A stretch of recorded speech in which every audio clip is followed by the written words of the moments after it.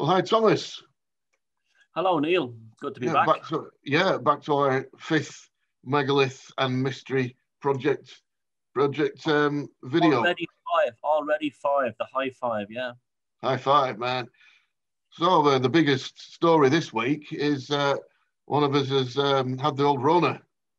Yeah, I, I got I got the raw. It's rampant around here, but I can tell you, it's just the regular flu, with a bit weirdness to it. I have to say. Uh, I, I started feeling sick last Friday and the evening, and it just felt like a regular flu or head cold. And then, then I got very fluey over the weekend and Monday, and uh, bed spins, the, all the classical. Yeah. The, the headaches were vicious, but I did lose my sense of uh, my sense of smell completely, and uh, I lost most of my sense of taste, but not all of it. And uh, it's still it's still lingering there, you know. That's why I, I, I wasn't going to do this this morning, but I decided that it's better to do something productive. That that's you know. Yeah, well, glad you did. your Yeah. mental state. yeah. But it does affect your. It did, it did affect me, my, my brain. It made me kind of melancholy and weird, and it was kind of a weird sentient thing about it.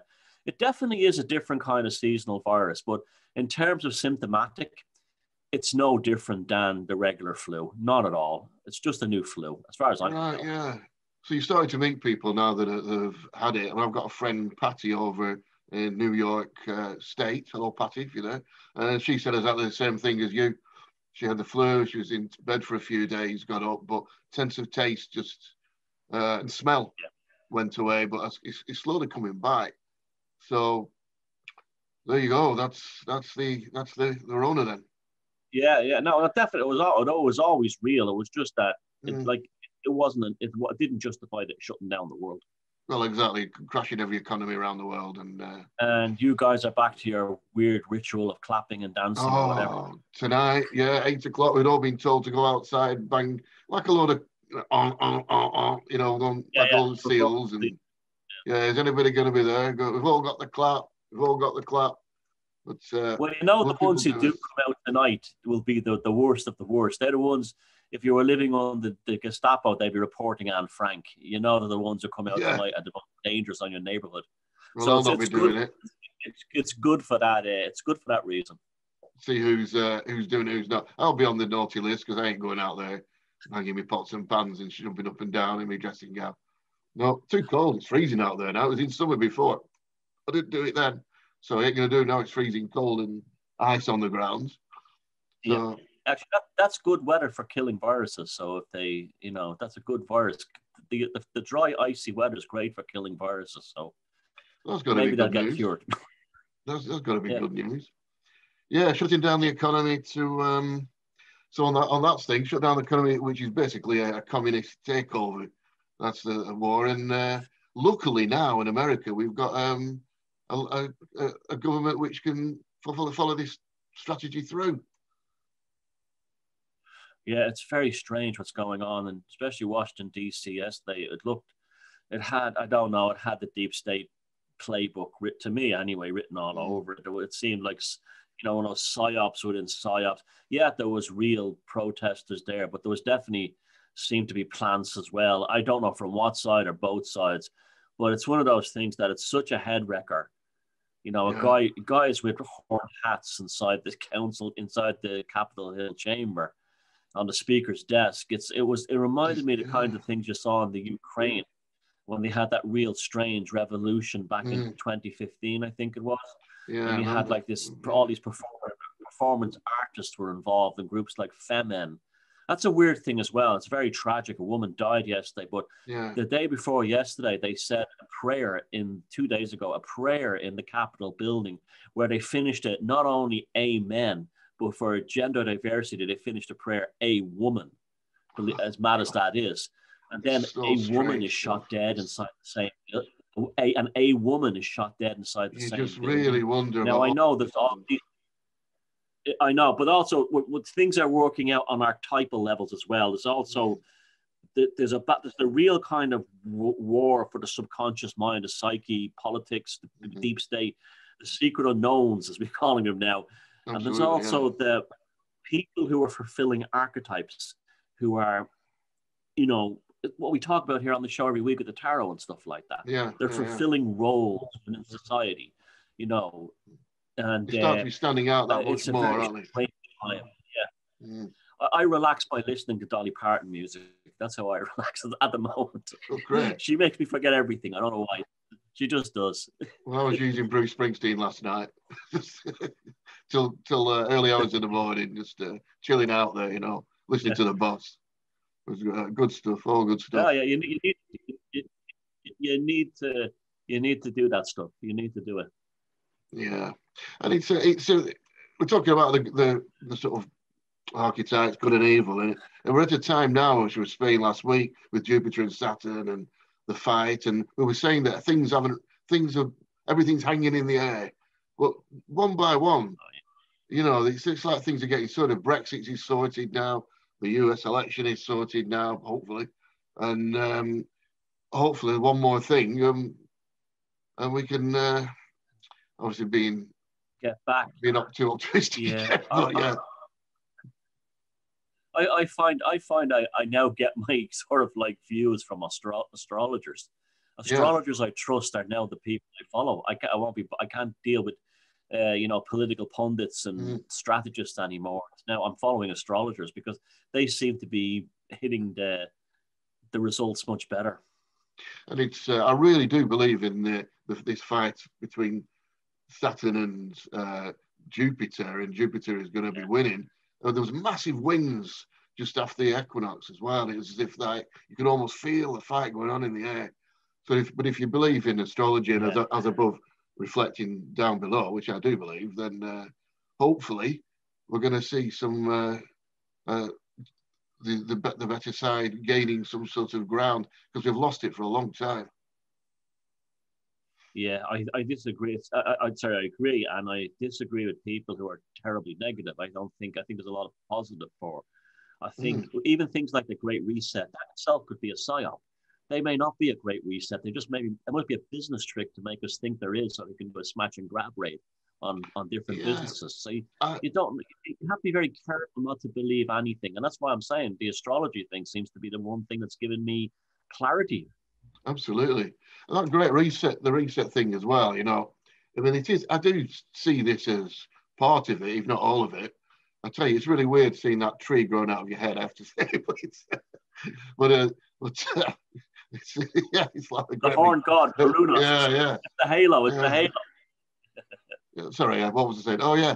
Um, the oh, whole idea. There's, there's Venus, there's, there's Saturn and Jupiter. That's it. It's the fight is going on above you right now. Just spin it around. Yeah. Um, the the whole idea of the taking market share by closing small businesses down, putting people on the dole and giving them uh, the uh, what the the pay over what's the, what's the name of the pay? I know you get 300 euros over there. It's furloughing, yeah. well, uh, PUP, pandemic unemployment payment. Yeah, and then I was looking at, uh, I was thinking, they've been talking about this universal uh, basic income for right. many, many years. I just, I just figured yesterday, I thought, universal basic income, yeah, about five years ago, they changed the whole of the benefit system in the UK to universal credit. I thought, well, we've got the word there already. And then oh, yeah. people over the last year now have been on a very, very uh, low basic, well, an 8% basic income. So actually, we're already in it, universal credit, uh, universal basic oh, income. All they have to do is get to the end and say, okay, I'm sorry that you, have lost your job and everything, but we'll carry on paying you a basic income. And it, it's in place, isn't it? It's done through the back door. Uh, what they call the stimulus payment in America, the furlough in the UK, and mm. the PUP in Ireland, and, and what they ever have in other countries, they're all names for UBI. They're all, it's UBI in their new name. It's yeah, it's sneaking it in it's there. Like, it's like a trial run of UBI. It's like mm. a trial run, almost. Yeah. And for people who don't know what it means, the negative side of it, it might seem a really good thing at the beginning. Yeah. Oh no. But giving not. over your control of all your finances to the government, and uh, whether you can travel or whether you can buy food, or because if it goes electric currency, that's to be avoided well, at all costs. I'd say do is say the wrong thing on Facebook, and they can cut off your P off your UBI. Absolutely everything. Yeah, you, you can't you can't afford to buy food, and then the whole idea of um, okay, well we'll also give we'll also offer it to people who've got property by paying the mortgage off for them and let them live on the property for the rest of their lives. And you say no, I'm not doing that. And then unfortunately, interest rate's going to have to go up to fifteen percent. Yeah. And then uh, you you you you're going to be forced to do it. Yep. But uh, your home becomes part of the national housing stock.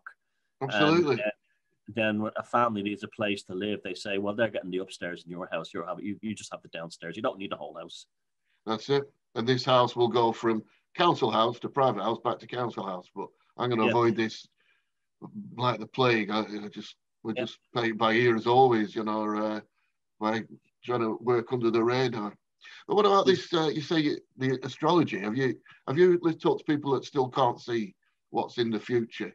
Like there's a, like a grey dark area, so they can't say yes or yeah, no. It's starting to resolve itself now. The, the astrologers I follow are saying the same thing. It's uh, generally the the the outlook for anyone, any of the kind of deep state people is terrible, apparently.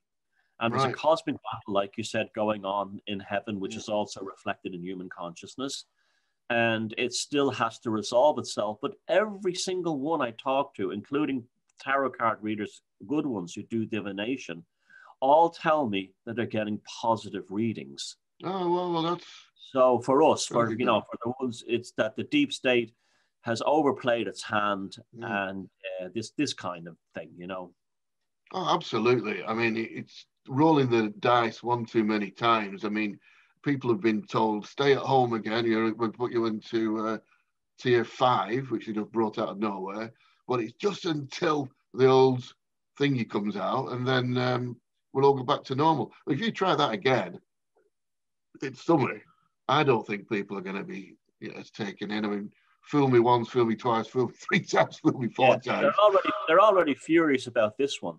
Mm. But at the same time, too, it's like, well, good enough for you because you wanted this. This is what you're screaming for, and the and now you got what you know. Be careful what you wish for because now you're finding out what the real game is. When you laughed at, at the call, the rest of us conspiracy theories theorists and laughed at us, tinfoil hatters. Well, yeah. guess what? You know, you were wrong, and you're finding it out the hard way. Well, that's very true, isn't it? Yeah, very, very true. Anyway, so the future is uncertain but looking good. So that's about all we can say about that yeah, and we have to create our own personal, individual, and local future, regardless of what happens. A parallel society. We can't. The best the, way, the best way to do that is with this chap. Oh, the good old magician. Yes, number number goes. one. Number one. Looking after number one. Looking after number one. that's right. Yeah, that's true. Um, so well, uh, I won't hold it up because I'll put a picture of it on the uh, on the screen so people so I can refer to it, but people will just look at the picture, which is here. Okay. Um, so I go first with our magician. Yeah, you go first. Okay. You're uh, hosting the video today, so it's your. Oh yeah, of course. So we should say that, shouldn't we? So this will be on my YouTube channel and your playlist on your playlist. So yeah, always subscribe to the, both channels and always subscribe to both playlists to make sure you miss nothing. Yeah, man. Yeah, man. And don't forget the thumbs up and share as well. I know it's been doing well anyway, but it's like this is. I, I was just talking to someone, a pair, a known person, should I say, one of my mm-hmm. celebrity friends, and uh, they were telling me that this is the best dialogue they've seen on the on YouTube on esoteric uh, discussion. Oh, excellent. So get it out to everyone. Get it out to everyone. Yeah, please do. Yeah. And what, and what, they said about it was that it's not it's not from a, a fear-based, negative, or Christian viewpoint. It's just a, a regular discussion and two mm-hmm. normal fellas, two normal Absolutely, yeah. fellas talking about it is really refreshing. So you know, spread the word. Get get people yeah. properly educated rather than you know traumatized. Absolutely, yeah. Please do. Absolutely. Um, yeah, well, thanks for that. Yeah, because we need to we need to get it out, and um, it's good to hear that some one of your um, uh, a positive message in in that regard. Anyway, so that's that's brilliant. Uh, so concentration. No, we've got it's up there, isn't it? Concentration is uh, the magician.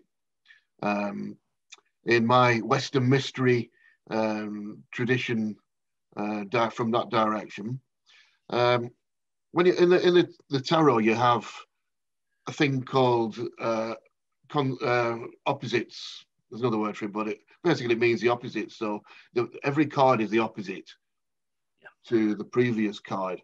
So the magician uh, is inside a garden, very enclosed area like, of a house, and the fool is out there on top of his mountain. Is the great outdoors. The fool is a fool, and the magician is a wise man. So you see, got lots of lots of opposites, and could, there's a whole load of those that if you can see in the cards. See, see how many you can find. Put it in the comments below. I would say.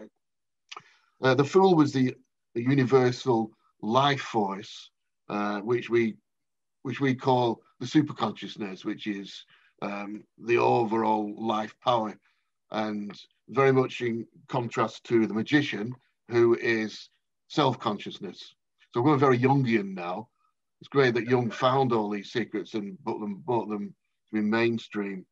Uh, the Hebrew letter Alf, Aleph, which is associated to this tarot card, is also means house. So then you've got the uh, you've got the the idea of the internal small area concentrated. It's like the great outdoors of the fool, mm, concentrated to one point. All magical, all magical uh, operations basically our concentration, and not only magical uh, uh um, operations, normal operations in in everyday uh, existence, because one, even in church services are a concentration into one place of one particular thought.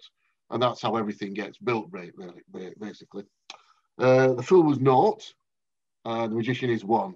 So the, the, fool was like sitting there on the mountain after not moving. It was after it came after a cycle of reincarnation or a or, or, personal cyclic building session, and the magician is one. So he's now at the beginning, like a little spot. He's number one. He's starting magician's known as uh, Mercury's, uh, Mercury's, uh, Hermes or Mercury, which is basically the messenger of the gods. And you'll see as, we, as I go through this little bit what I mean by that.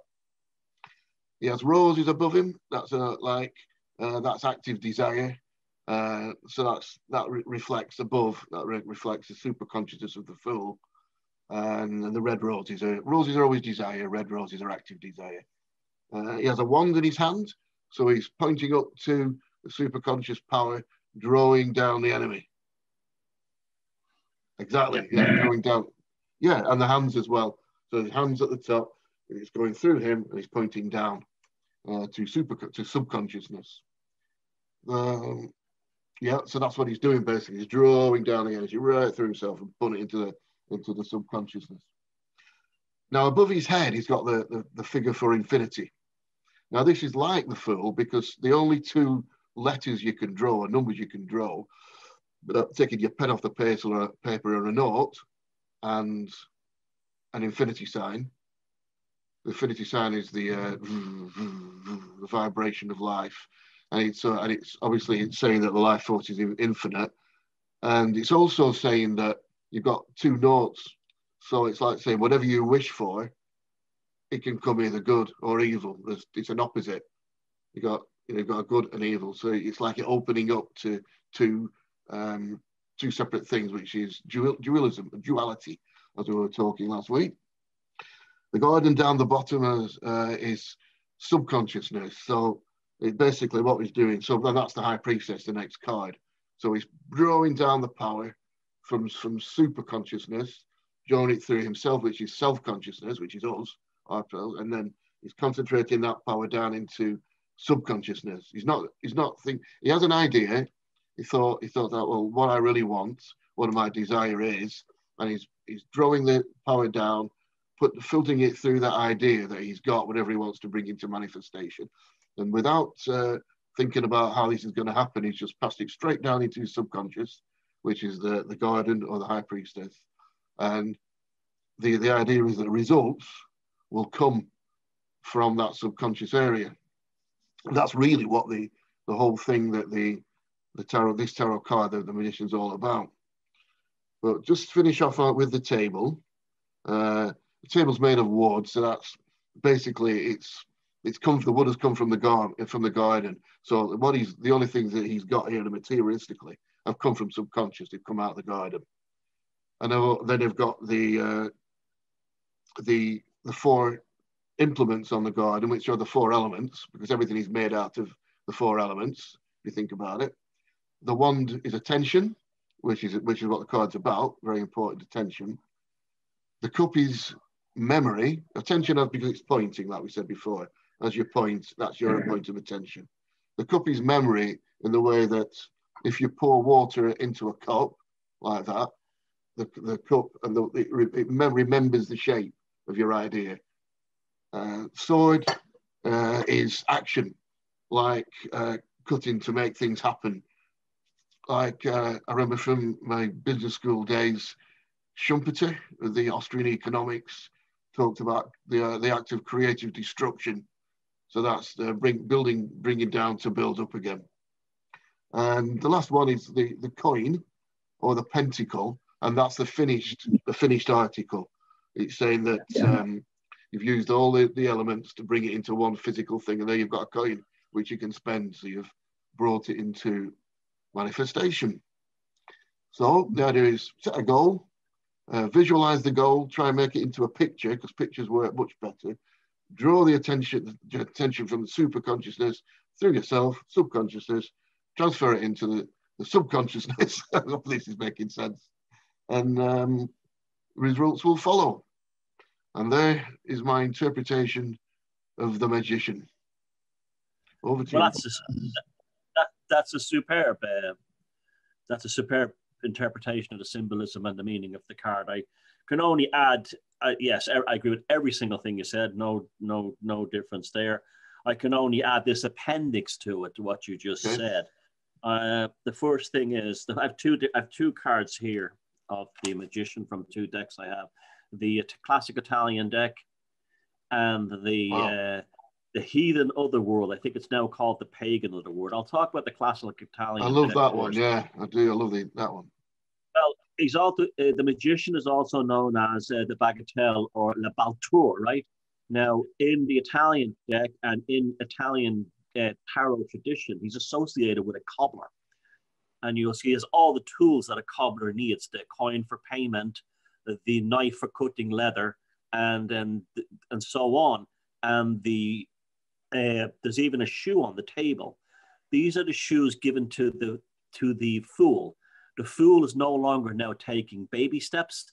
They can walk anywhere they want because the magician has given the who's the cobbler or the shoemaker has given the fool feet. Mm. Okay. Mm. Now the the magician, uh, Le Baltour or the La Bagat- El Bagatelle, represents the will, like you said, yeah. the the the taking of the unconscious and bringing it into manifestation. So therefore, the, the fool now has the abilities to make things happen. He has free will. He has self-determination. He has the ability to do what he, the tools that he has now to step into super consciousness or the material world. As you said, the hand of pulling down from the, the, the immaterial world as a conduit through his own body, through his own will and creative powers into the material world. Now, in Alfred Douglas's uh, classic on the, the best tarot book ever written, The Tarot, Its Symbols, Meanings, and Mystery from early 70s. This is my original copy when I was a kid. It's in bits. But, uh, it's a fantastic book. He, you described him to Hermes, the messenger to God. Mm-hmm. He, that's true. But he also compares him to Prometheus, who takes the fire from the god. And uh, yeah, yeah, yeah. the same thing. And that's the same thing, taking the fire same from thing, the god. Same thing. Because it took away the god's exclusive uh, capacity to create and gave it to man, which is very much stands as very strongly within Freemasonry and things like that. The concept of the Anno Lucis, the, the year of light, when when consciousness came into man and he stopped being an animal and started to being like a kind of a god. Now he the, the table is made from wood, yeah, earthly matters, and in your version, the older version, like the Rider Waite ones, and the uh, the Tarot de Marseille, he's got a white vest underneath here, purity Yeah, and innocence. So the fool is inside. The fool is inside. And uh, within the Tarot de Marseille, his cap is a kind of a floppy hat, and the lemniscus or the symbol of infinity is in the folds in the hat. Again, Ah, That's the- that's the zero twisted, the zero of the fool, or the north as you call it in England, twisted in 3D space time to make a loop. I can't do it with my hands. Yeah, clever, make yeah, yeah. yeah, it's been twisted in 3D space time.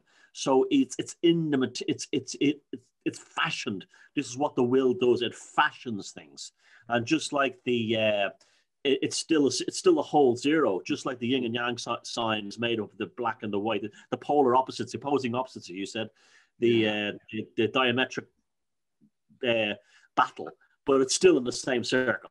It's still the same. That's the same thing as twisting the zero Yeah. and getting the Yeah, infinity symbol. quite, yeah. 3D place. Now, in the heathen other world, which is now marketed under the name of the pagan other world, they have fashioned or designed it's a beautiful deck, this by the way. They have designed the the magician to look more like a shaman. Right. A shaman and a, uh, a magician are two very different things, but that's the kind of image they've gone for. Now, his table is actually carved out of a tree, a trunk that's rotted, that shows that it's coming from the primal forces of the earth. It- but it's been fashioned, it's a natural tree trunk that's been fashioned into a table in the same way the will fashions ideas and imagination and creativity into into a manifestation. He's also standing in the below a mountain, and these are the mountains that the the Yeah. fool has traveled across. Remember you spoke about that last Oh, week. Of up in the- course, I forgot to mention. Yeah. Yeah. Yeah. he's come across that, and he's now here, and he's gained experience coming across these hills. He's wearing shoes now. He's not barefoot. Yes. Yeah. and he's in that classic John Travolta Saturday Night Fever pose of Staying alive. and down. Yes, staying alive, up and down. You see, the people in Hollywood are very clever. They understand archetypal Mm. symbolism as well.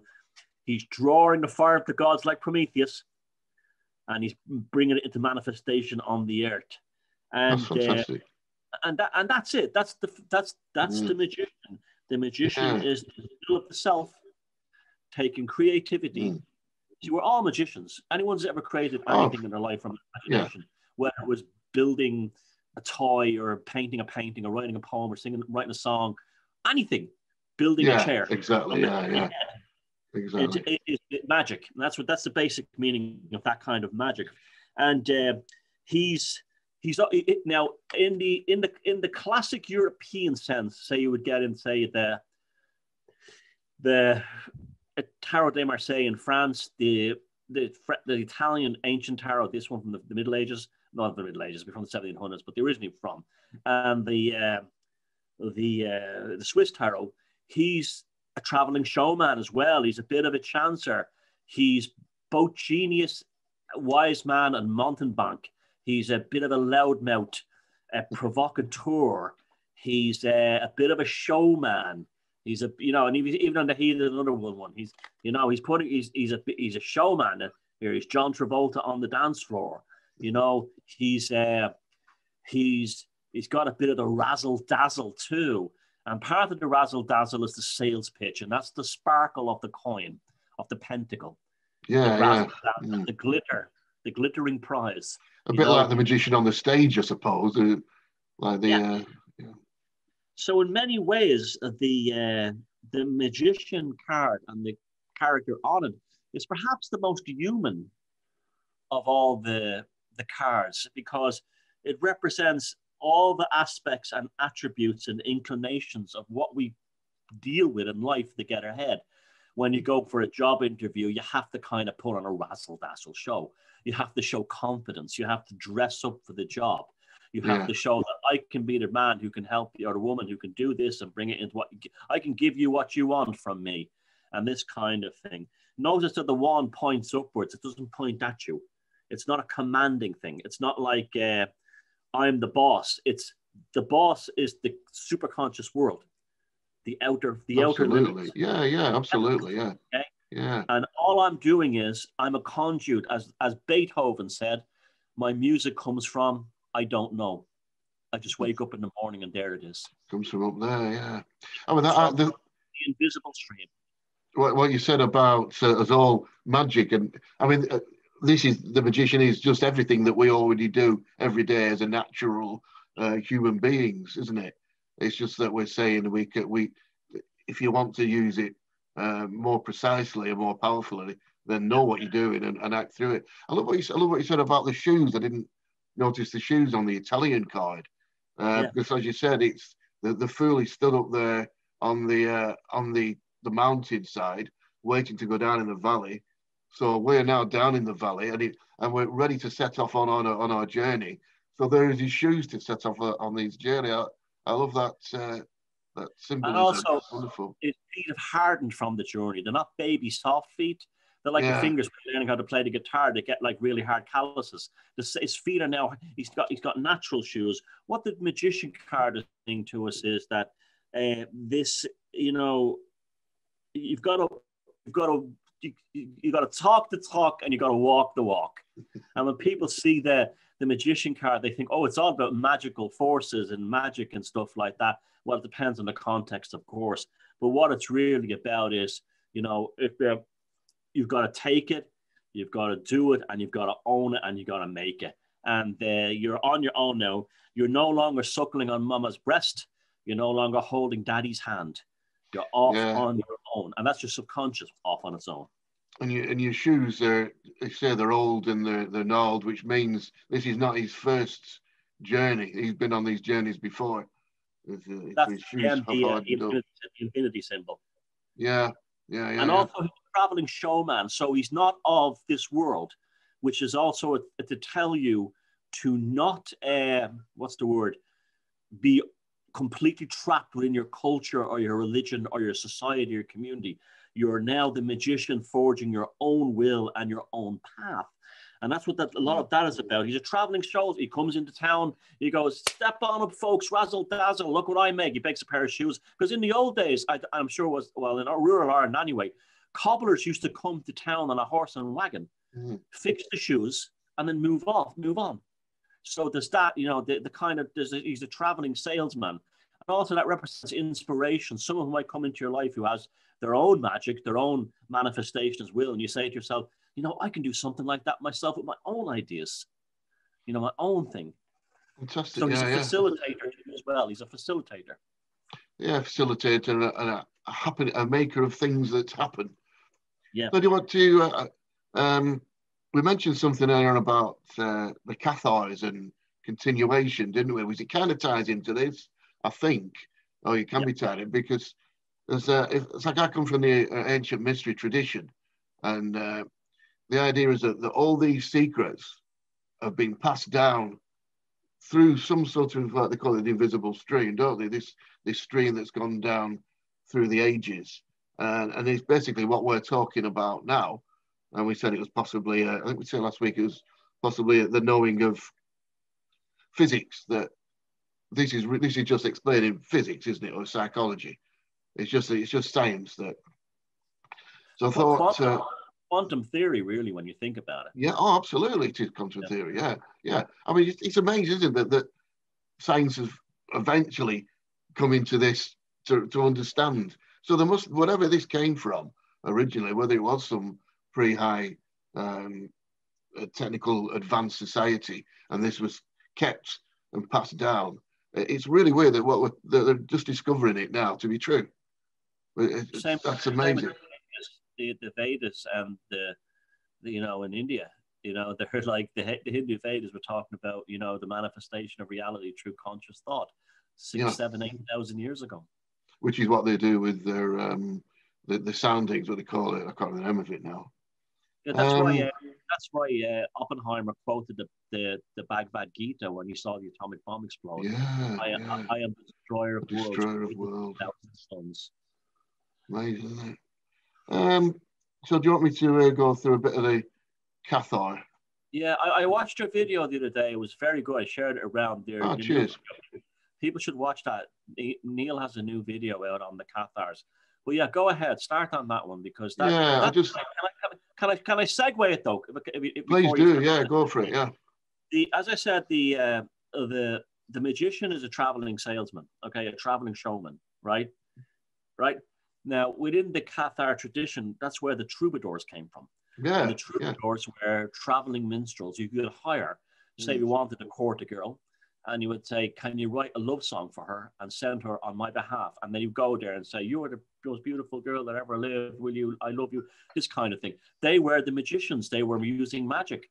They were transferring his his his emotional feelings into music and song, and then relaying it to a woman who would probably fall in love with him as the conduit of them through their through the conductor's wand or the, the musical instrument.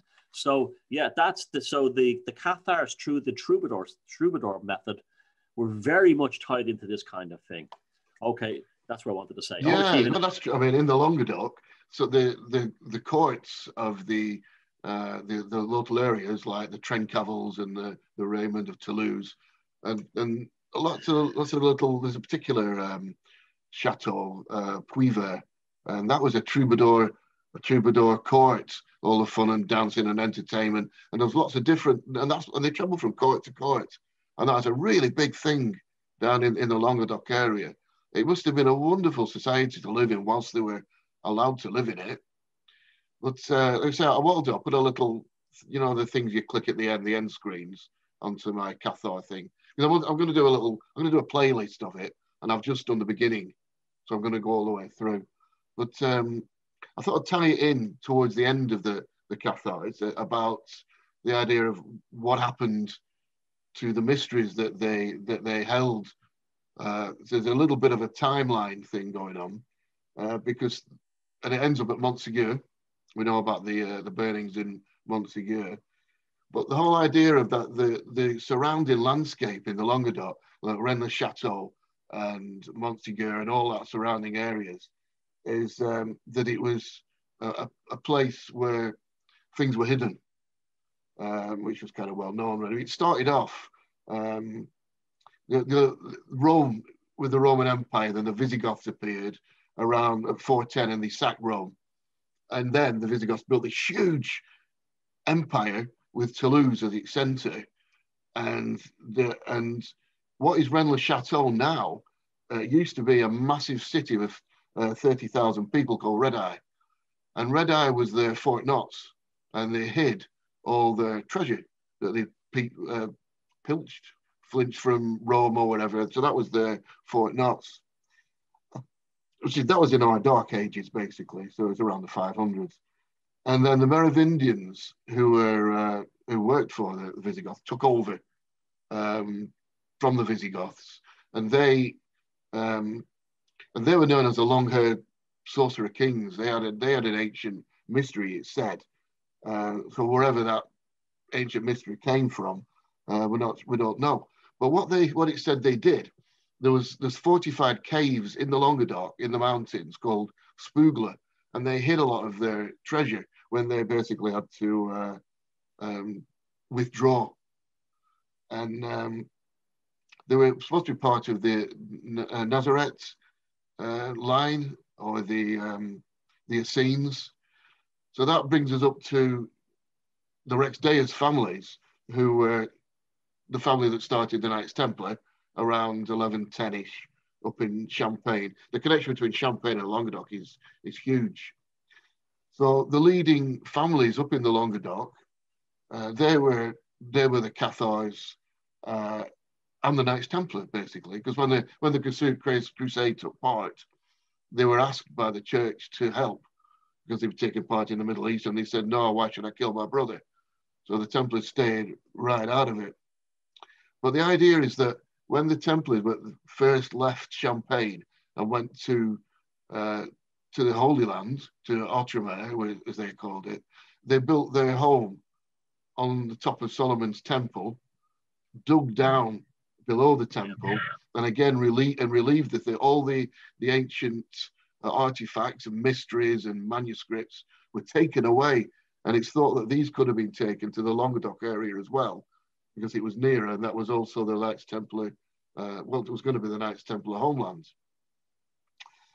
So then, in 1245, that's when the siege of Montségur took place. And uh, I mean, they had the they had the the Albigensian Crusade, which we could talk about sometime. And it, luckily, that finished when uh, Simon de Montfort got um, below his, his blades brought out with uh, the payload of a mangonel sent by the women of the of Toulouse, which is fantastic.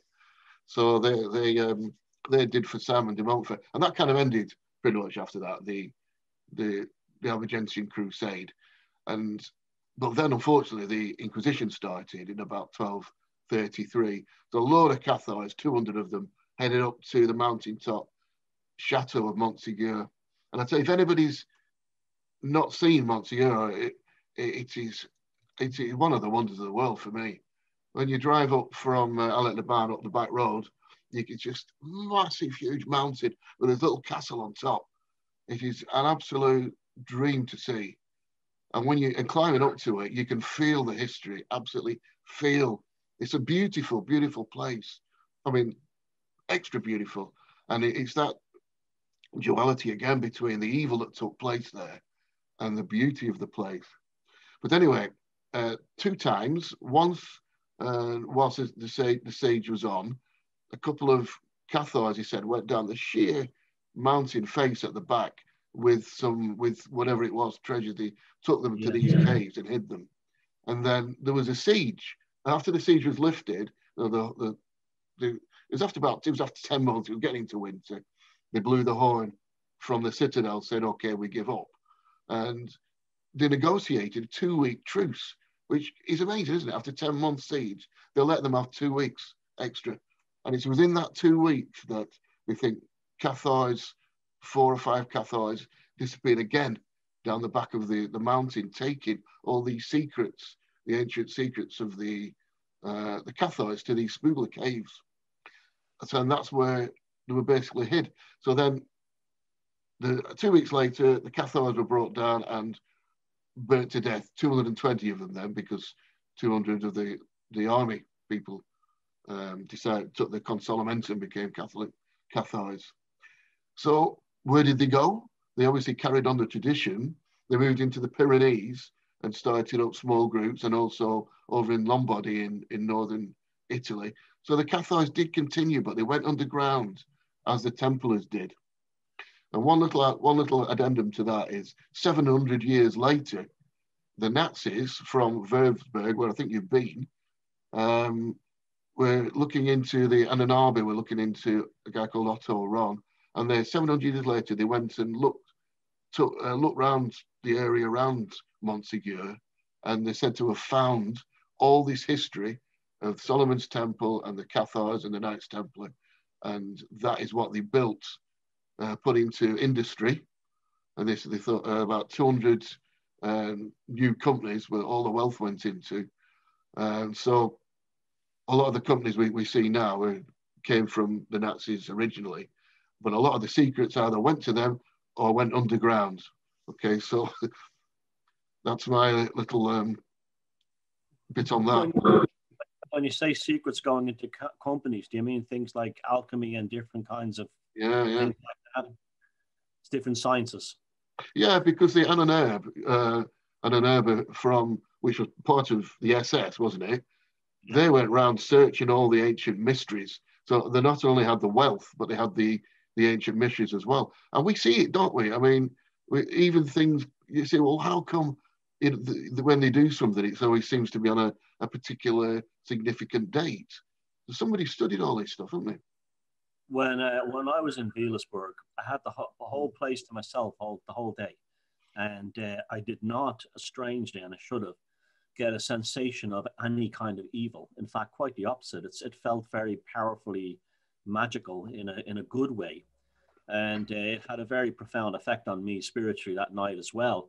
But uh, in the in you know the, the Wewelsburg, there's a whole castle and there's the famous lower crypt, which uh, you know it represents the subconscious mind, and it has the swastika above, and in the middle they say was a burning flame, but I think that was a pool. That was a pool of water representing Mímir's well in uh, the Nordic tradition. The, the upper part is the top of the tree of life. Funny enough, I just did by mistake that this today, but it's appropriate. And um, again, in Wewelsburg, a place that was the center of the SS, you expected to be filled with a terrible dark energy, and it wasn't. It was quite quite calming. And like you said, I felt the history. But they have a fantastic library and exhibition center down there, and I was the only one in it. It was January, and just opened after Christmas, and as the weather was poor, so I had it all to myself. And in the in the library, the sheer amount of documentation on the Armanen and the things connected to the Templars and the exhibitions to Tibet as well is quite remarkable. I mean, this wasn't just a fringe a fringe thing among the 1920s and 30s the Germanic Völkisch movement. This was an enormous topic of discussion and uh, study. And uh, I often find it interesting to say like secrets m- missing. It brings us back to the tarot. I find it interesting that the tarot appears in Italy around the same time the Cathars vanish or well exterminated. Right, so right. that's kind of that we never know. There could be a thing there. Now, like everyone else, back in the day, I thought Holy Blood, Holy Grail was absolutely fantastic, and their theory about the um, the people who escaped down the cliff was the bloodline of Jesus Christ. Yeah, that was the secret. I never, I never believed that one.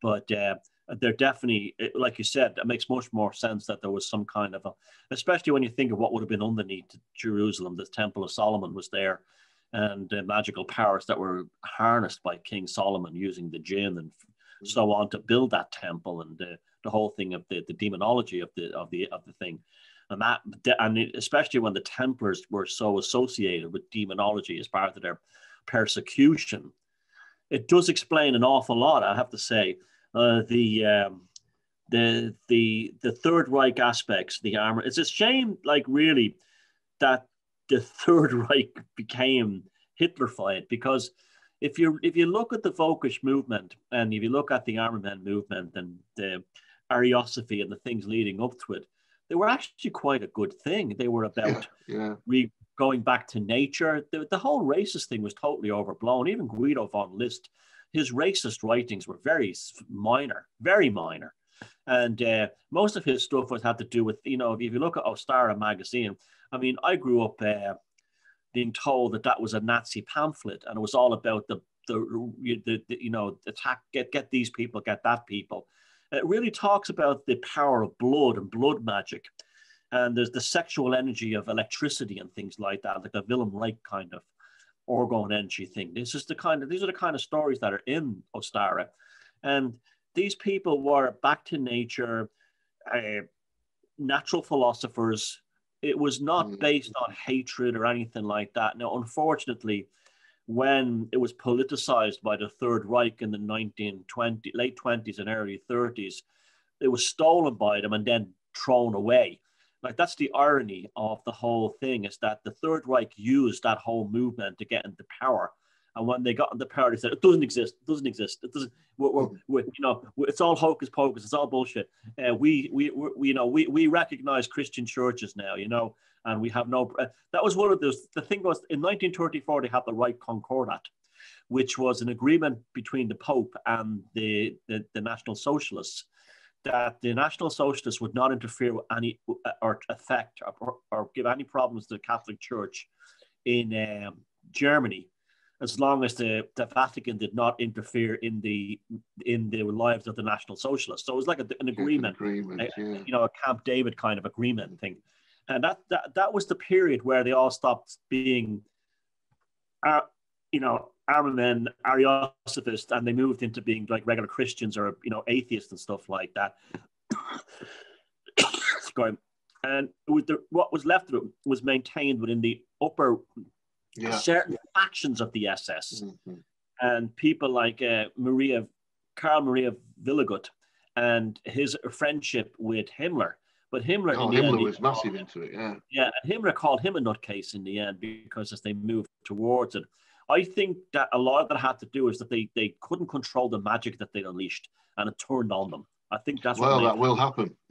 will, will, will, will. Hence the um, yeah.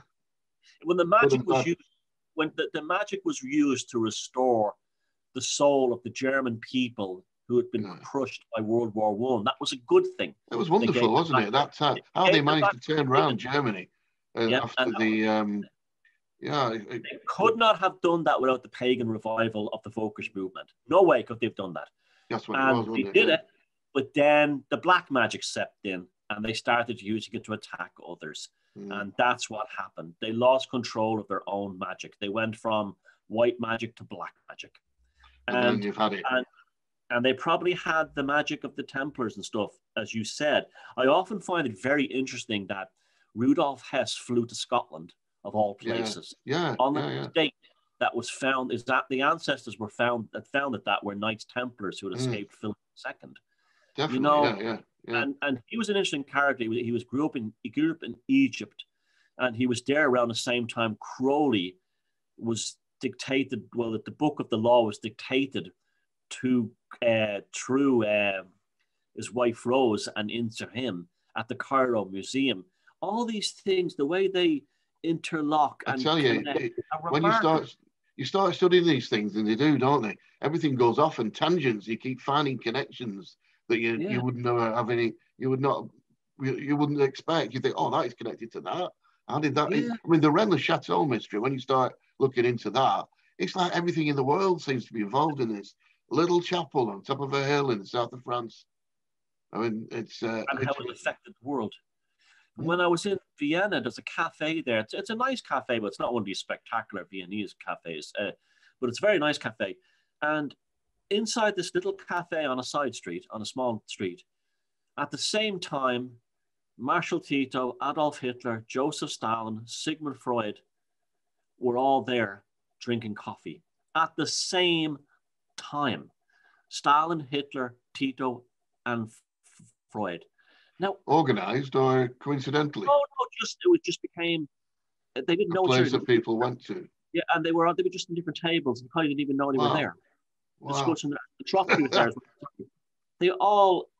It's just this weird thing. Like when you find out, it's it's you know you find out like that Hitler was in Liverpool visiting his brother Patrick, brother-in-law Patrick, who was Irish or he was married to an Irish woman, and at the same time, uh, Carl Jung was having dreams about Hitler's the pool about uh, uh, Liverpool as the secret pool of life, and uh, the same time that was going on, you had uh, the the this sort of like uh, this, this talking about the resurrection of Wotan, the Germanic god, as the true god of the German people. I mean, you just couldn't make this stuff up. it's almost as if there's um, a, a, a sweep or an energy comes through the, the planet that everybody's all. It's like when you have inventions, people seem to inventions get uh, happen at the same time. You know, it's like like there's a, a- a- A- An argument, like when you get a music, like when you get a music scene in a certain city Yeah. all the time, like the way punk started in New York at the same time, and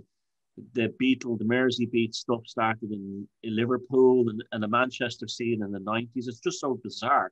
There's another an energy comes through. comes Yeah. There's the the magician with his wand tapping into that energy stream. And what he- absolutely. Yeah, yeah. and that was what happened in Vienna back in the, the 1910s, uh, early 19 teens, that they would have been tapping into an energy. Some were good, some were bad. You know, that's, you know, this kind of thing, how it went. But uh, the, the, the, everybody plays down the, the connection between the National Socialists, the Armanen or the, the, the Völkisch movement, and the Templars it doesn't get enough airplay. It doesn't get enough. Uh, I think it's a very, very serious subject that needs a lot more uh, discussion because it's only magic could explain the resurrection of Germany after World War One. You cannot explain that with just economics and policy. You can't. Something was tapped into in the mm-hmm. war between 1919 and 19 you know, when Adolf Hitler walked into the Intercontinental Hotel in Munich, Rudolf Hess laid eyes upon him and said, There's a Kraya Christus, the new Christ. You know, this is a guy who's just been recovering from a gas attack, you know, in hospital. Yeah.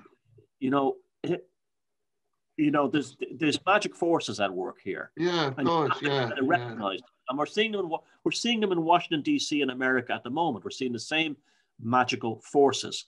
What you know, the, the playbook is still being played out. Oh, yeah, it hasn't changed, yeah. Yeah, and when people go, oh, I'm a Democrat, I'm a Republican, I'm Labour, I'm Conservative, you're missing out on how you should really approach this stuff. What you dive into is what it means at a conscious level. When you dive into it, it becomes fantastic. It becomes a, a theater that you can see mm-hmm.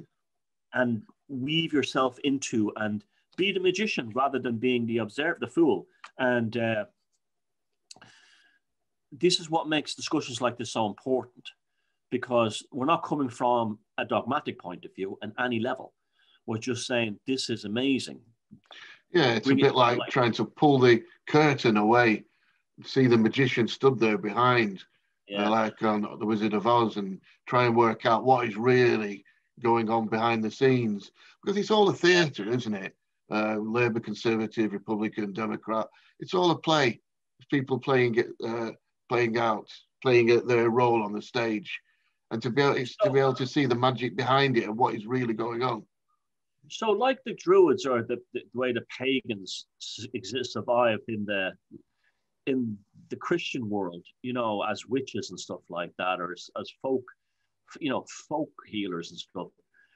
I guess the Cathars ex- survived in their own way too. Maybe not officially, mm-hmm. but do you believe that officially there could have been? I guess there, I guess there could have been secret Cathar churches that existed on the ground. Oh, definitely. You mean after after the after, twelve hundreds? After the Inquisition, yeah. I think definitely, yeah, and because I mean, a lot, a lot escaped, and they, they they stopped searching for them in the end because they weren't a threat to the church anymore.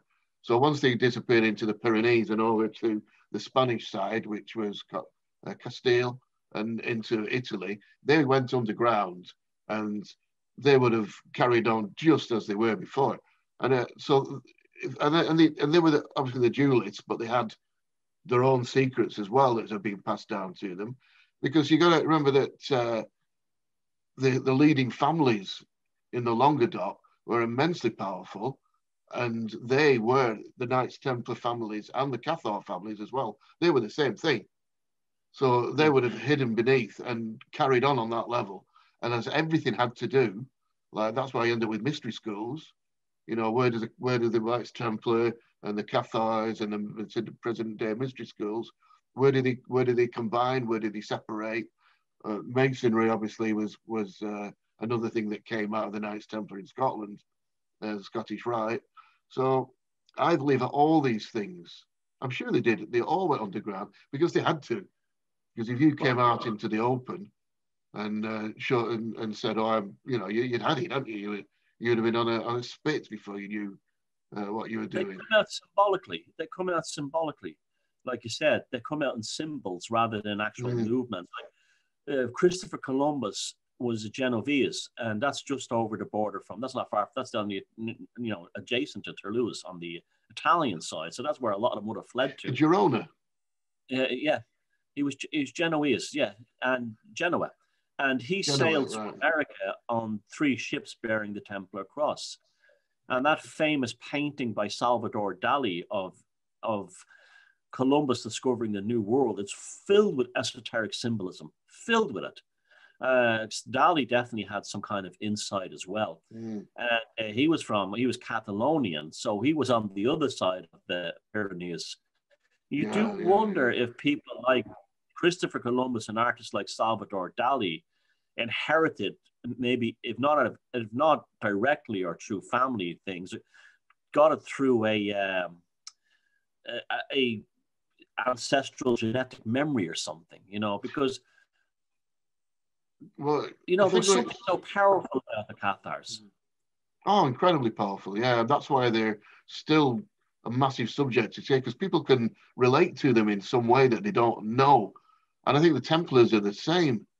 When the Templars uh, in 1307, when the Templars were disbanded, Friday the 13th of October, Friday the 13th, they, they spread out into different directions. Obviously, they went up to Scotland, they went to, um, and they went to Sicily, well, they would have, and also to Switzerland and various other places. So they would have put little pockets of their knowledge, which carried on. So that could, and, and uh, Catalan is a definite one because the connection between Girona and Rennes Chateau is a whole story in itself. The first tower Magdala, to Magdala was in Girona. I've been to see it. It's been knocked down now because they, they, they said it was, um, they, they thought there was magic powers there that they wanted to get rid of. So they knocked the tower down. Well, that was identical to the tower at Rennes Chateau. So you end up with the two towers, like you, like in the Lord of the Rings. So that the, yeah, the, so there was little pockets of these things. Everything connects up if you can get beneath the, uh, the surface. The, the Templars are, ended up in Ireland in the Nore Valley in places around Kilkenny and Waterford. And that's where the Kennedy family is from, New Ross. The Kennedy, right. JFK made a speech to the Italian American League in 1960 where he said the family's real name is not Kennedy, it's Genovese. And they were Italian merchants who came from Genoa to Ireland. And that's right. JFK's yeah, own words. And that might explain the power of that family. Might well do, yeah. And then you've got this idea of uh, what what what is power and when is it good, when is it bad? Because but even, the way, even, the way, even the way the Kennedy government was called Camelot. Wow, you yeah. know, you know, and uh, yeah, that that's that speech is on record. He said to the Italian American League, the family is actually Italian, came to Ireland from Geno- Genoa, and it's not Kennedy, it's Genovese. The Genovese. Yeah. It's yeah. A lot of these families are uh, yeah. You if you follow the background, you you you you find and you find connections of families, you know, connecting up, don't you? And uh, you you look at the family trees and you think, well, how come this person is in is in this family. It came from that family, with like the Spencers and the Churchills and and uh, George Washington. There's a church near us where George Washington's family came from, and his his family tree has the church uh, has the Spencers. So Princess Diane, it has Churchill on the other side, and it's uh, it's amazing to see that everything came from this little place. And the, the connection between the Cathars and the uh, Templars is they're very much connected to the flow of wine, wine trading, wine importing, mm. wine export, wine making, the holy blood. Well, yeah, that's a that's a point. Yeah, I'm I'm connected in that because I do the wine drinking, so I'm yeah, carrying on the tradition. The, you're, Bring it into manifestation. At the, end of the process. Yeah, yeah, absolutely. Yeah, and uh, speaking like the end of the process, uh, I think we've been just over an hour. Right. So shall we call it? Yeah, I think that was. Yeah, I think I'm starting to start. I can feel myself getting wheezy again. Yes, oh, no, you need to yeah, rest. I'm, I'm, I'm, glad I did that. I'm glad we did this because uh, it's uh, another good another good one. And uh, so there you have the magician, and uh, we even we even found a connection between that and the Templars and the uh, yeah. the Cathars which shows why we study these subjects and why we're making these videos. And I hope everyone's enjoying them as much as we are. Absolutely, yeah, yeah. We'll see you for number six on my channel next week. Next Indeed, week, yeah. So yeah, so please do, like we say, subscribe on both channels. We really would appreciate that. And uh, any comments? And thumb them up. Thumbs up, yeah, thumbs up. Yeah, and even if you tone them down, it's good because that registers in the lot in the uh, the algorithm and pushes it up the, the search engine. So yeah, yeah. so uh, you know, you, you know, just you know, this is there's a lot of esoteric stuff out there, and a lot of it is rubbish because it comes from a Christian viewpoint. That it's all satanic or it's somehow sinister. It's used to damage us. Mm-hmm. But the thing is that it's only a, a, dangerous thing if it's being if you're not using it yourself. Absolutely, yeah, yeah. We could go out another subject knowledge as well about Christian. esoteric knowledge is the greatest power. Absolutely, it is, and to use it properly and use it for the right reasons. As he so puts his finger up like the magician at the end. Okay. ah, ah, ah, ah, staying alive. I'll see you next staying time. Alive, staying alive, right. Yeah. Now we're going daft now, so so we'll see you all. See you all next week. tune this tune in next week for the next exciting episode of the magical uh, megalithic project. Bye everybody.